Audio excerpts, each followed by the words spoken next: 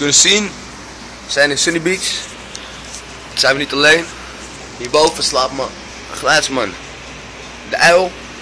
En Jellus, de normale presentator, slaapt ook hier. Oké, we zijn in Sunny Beach. Het is 10 uur, eh 12 uur. Wou het eigenlijk om 10 uur doen, deze eh, aflevering. Maar helaas, ook de cameraman heeft soms wat slaap nodig. We gaan eerst even kijken hoe het in kamer 361 is.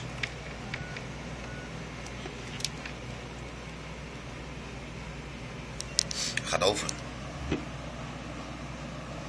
Yo, goedemorgen Erik Eilers. Kan ik zo even bij jullie op langs, eh, langskomen?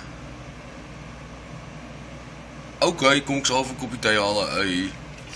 Heel, heel gastvrij van die jongens. Ik word gelijk uitgenodigd voor een kopje thee. Ik dacht eigenlijk dat er nog eh eh, slaap zijn, maar ze zijn helemaal, helemaal aan.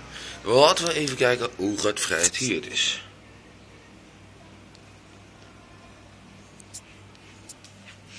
Hey.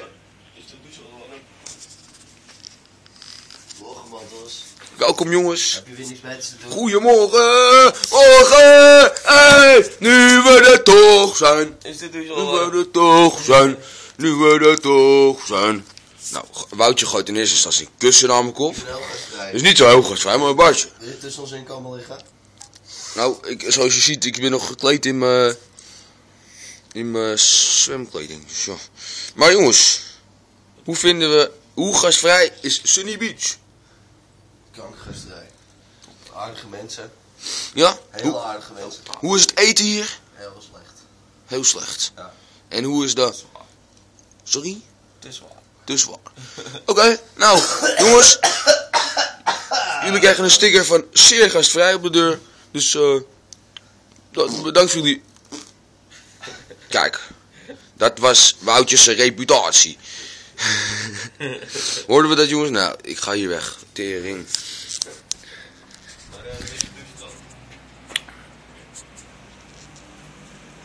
Twaalf uur 's ochtends, Sunny Beach. Zoals we kunnen zien, die jongens zijn heel erg gastvrij. Maar helaas, toch moet er alsnog zo'n vieze scheet van Woutje uit. En ja, daar kan hij ook niks aan doen. Daar kan hij gewoon ook niks aan doen, jongens.